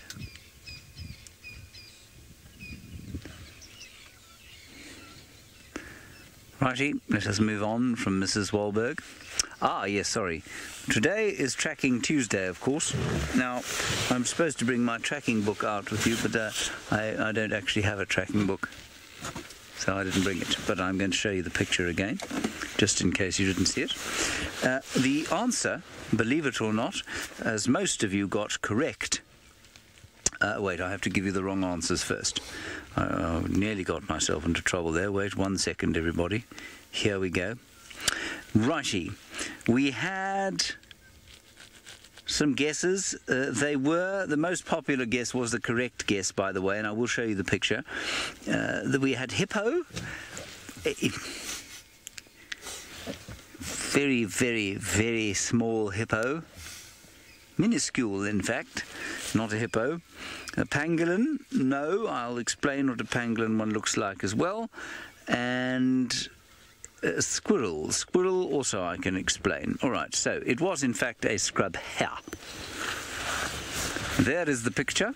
Now, that's not going to mean a great deal to you. You really need to quite get quite close up to it and have a, a decent look. There we are. But basically, what it is is four stamps, totally indistinct.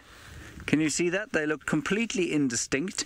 And that's because, of course, there's a lot of fur on the foot of a scrub hare, and so it doesn't actually leave any toe marks. It just leaves these sort of indistinct stamps that look like miniature, if you like, really miniature elephant tracks, for example, without the toes in them. I can see why the one person thought it might have been a hippo if the entire thing was the hippo and it wasn't four individual feet, but it is in fact a scrub hare.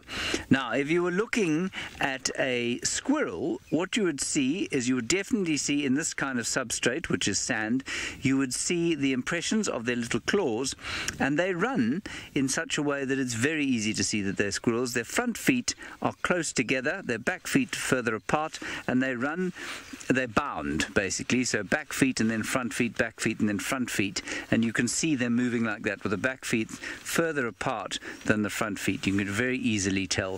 A pangolin track is also fairly indistinct. Uh, it's sort of much smaller back feet than front feet, quite long claws on the front foot, but also you'd see the tail dragging along the ground with the pangolin quite often. Okay.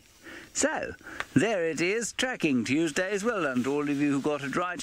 And for the person who said it was a hippopotamus, I do sympathise. I see now why you said that, but perhaps a bit more studying before next time. Good. Right, it now looks like Tingana is going to get up, so I'm going to drive around a bit and we will see you hopefully with something exciting soon. I can see now that Tingana has just decided to move from the thick bush, bushes to the open space. So I'm just driving around so that we can have a better sighting. Oh, here is he. It's just lying down here.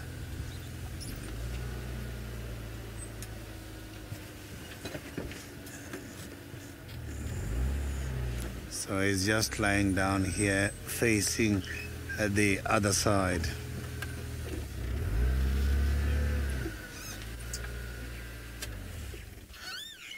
So you can see that uh, this cat, the berries are very much full.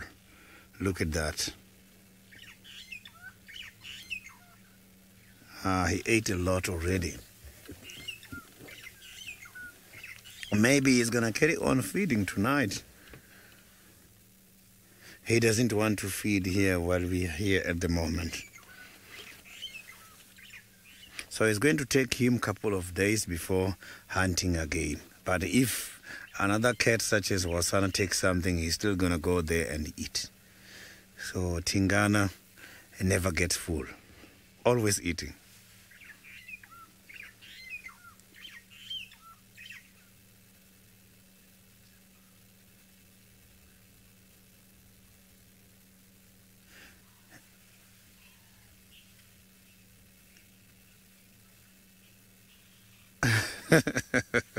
That's a very lovely uh, comment. Yeah, this cat it likes to eat too much. I have seen that. So look at those paws there. You can see that the belly is there. There's a very big hump at the moment. So that is too much food in the stomach. So it's just now trying to have the space open so that it can load more.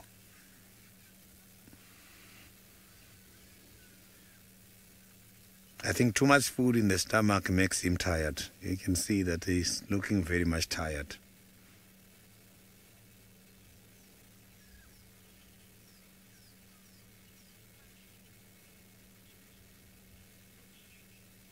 A blue, that is true. The stomach looks the biggest portion uh, of his body. You can see that. So you can see the stomach looks big like this, but this animal can still go and drink quite a lot of water. So it's quite a very big stomach.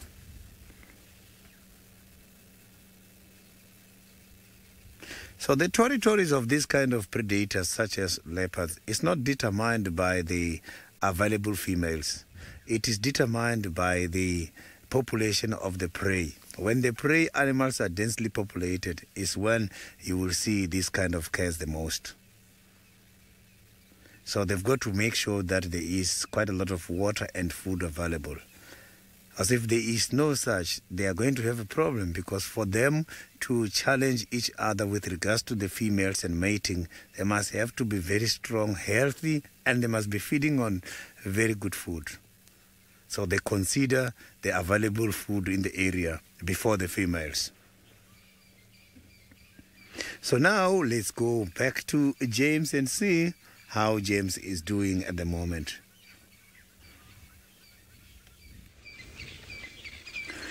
I'm doing fine. I'm sitting with a troop of baboons, and interestingly, this female baboon is walking very close to us. It's very unusual.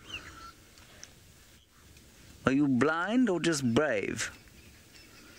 It is a female. No, you know what it is. It's a young male. Right, then we've gone back up into the tree where they're roosting. They're roosting in little couples, it looks like. They're in the jackalberry tree at the junction of Central Road and Gowrie Cutline. And they seem to be roosting in couples, which is quite interesting. I'm not sure that I've seen that before. It's rather fetching. It's quite sweet. They're all having little last conversations of the day, whispering sweet nothings into each other's ears, having the old mutual grooming session. A little bit of pillow talk, as Louise says. Yes, absolutely. No doubt there'll be some mating too. These baboons don't let an opportunity to mate go by. But this is not them. I'm saying they're couples. They're not necessarily couples. There could easily be, you know, male, young male and older male, or young female and older female, or just two females and males the same age. Except they do look to be different sizes. All of the individuals in these little couples. In a baboon troop, of course, there's a hierarchy amongst the males, and to a certain extent amongst the females much less rigidly enforced than it is amongst the males. But interestingly, some males will form a bond with the females, even though that bond can look almost like friendship, where there is no mating activity that takes place. They just forage together, they might roost together like this, but there's no mating that takes place which I, is very interesting and it's very difficult for biologists to understand because it doesn't seem to make a great deal of sense. And often that will be the case if the male is low ranking. And some females will tolerate that and they will enjoy and encourage the presence of this male around them. They'll interact and groom with him. And others will just be mean and nasty to him, often the more dominant ones. So this kind of situation where it looks like there are a whole lot of romancing couples up in the top of that tree is not a kind of normal one necessarily. You wouldn't expect that to be the case. Those two are just chewing the fat, wondering when it's going to warm up. Well, deja vu, you said it. You say springtime, love is in the air. Well, it certainly seems to be in that tree. That is the Lerve tree.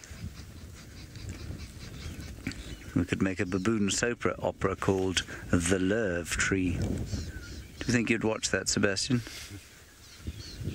Yeah, I don't know. I think I would. Would depend on who was narrating it, of course.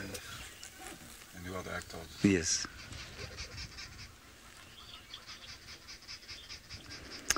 Louise, we're not talking about that anymore. Louise just mentioned something that I don't want to mention. I spoke about it the other day and I was embarrassed yet again. Right, I'm going to sit with these baboons a bit longer. Let's go back to their mortal enemy.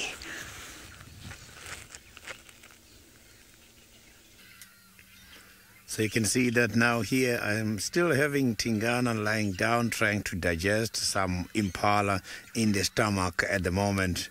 And then the visitors are starting to come back. I saw that the hyenas, they are now coming back. You can hear quite a lot of birds are also making a lot of calls. So the birds are going to sleep now, those who are active during the day, and give a chance to those other birds who are much more active at night. So I was saying uh, the hyenas are again starting to come back. I can see two that I saw earlier are slowly approaching the area where Tingana is lying at the moment. So these hyenas, they are getting some of the meat from the ground and hyenas their aggression is also motivated by what is in their stomach. And that is what makes them go and chase these big cats when they're too hungry. So you can see that uh, his head was up. He's looking at them. They're just on the other side of the uh, dry riverbed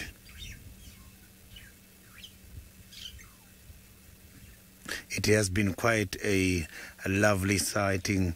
Having him here lying down, not feeding, was also an ornament, as it's one of those animals I haven't seen for quite a long time. It has been a very fantastic afternoon with quite a lot of lion sighting in the Mara and some elephants and buffaloes and also a lot of interesting birds here by the Djuma Game Reserve together with Tingana.